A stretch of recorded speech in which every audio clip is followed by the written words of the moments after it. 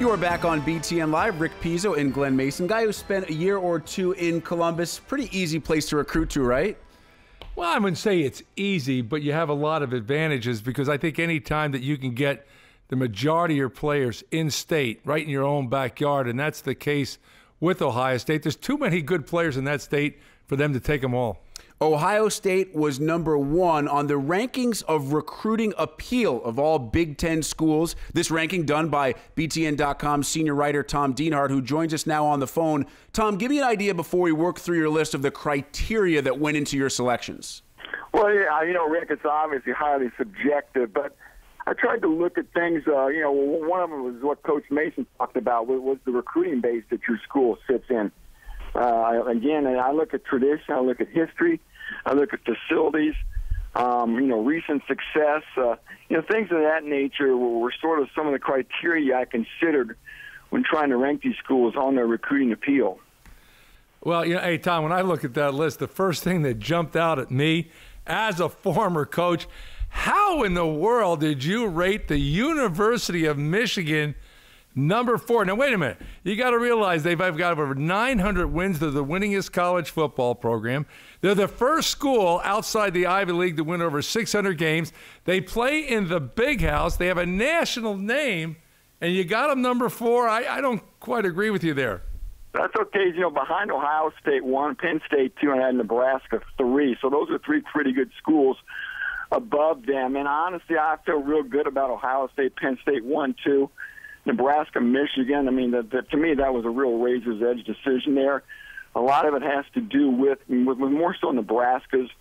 Uh, I, more, I think they've had more success the last 20 years than Michigan has when you look at the run the team had in, in the 1990s as well. I think their facilities, you know, Rick and Coach Mason, I think the Nebraska facilities are off the charts better, better than Michigan's facilities.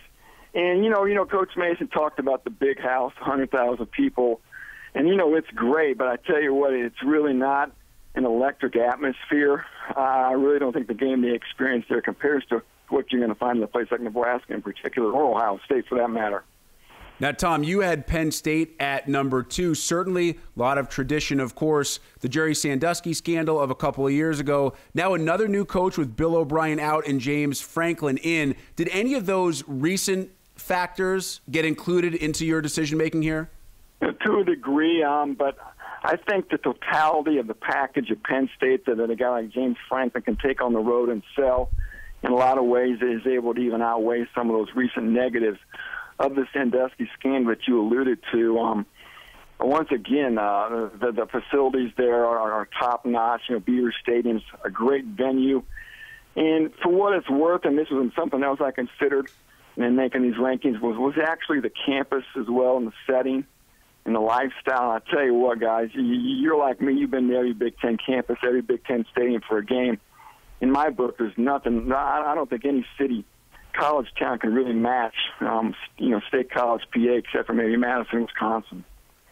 Well, you know, uh, uh, Tom, I normally agree with you on a lot of things. On this list, there's a lot of disagreements. You know, the one thing when I look at, at Nebraska, they've got unbelievable facilities, but when you look at the the population, the in-state number of players, nah, and you think of tradition, and we think about the Nebraska tradition.